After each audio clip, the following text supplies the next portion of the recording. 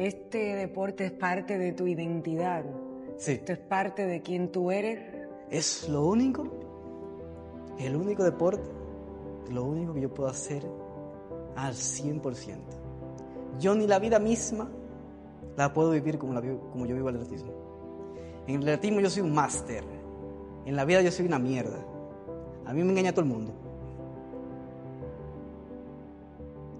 Ahora mismo cualquier persona diría que yo tengo miles de millones en un banco. Yo tengo eso. Porque me engañaron.